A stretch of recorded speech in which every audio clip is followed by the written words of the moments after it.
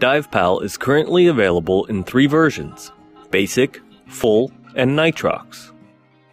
The basic version of DivePal is free and is the optimal solution for a student or newly certified diver.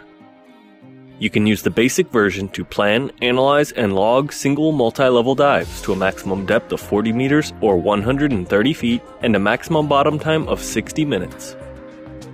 With the full version, you can create a series of up to three multi-level dives, each with a maximum depth of 50 meters or 165 feet and 90 minutes of bottom time.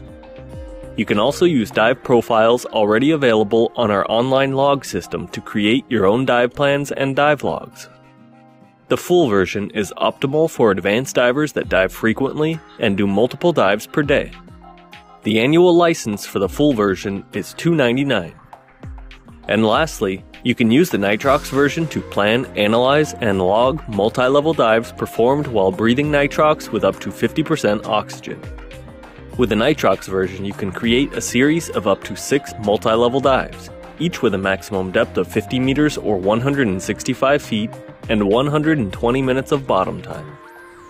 The Nitrox version also allows you to estimate your PPO2 and oxygen toxicity, therefore making it the optimal solution for divers seeking longer bottom times and or shorter surface intervals.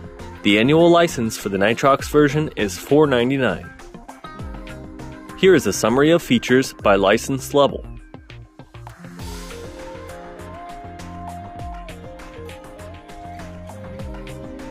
To purchase a license, just go to the user settings screen, log in, select which license you would like to buy, and complete the in app purchase in the Apple Store.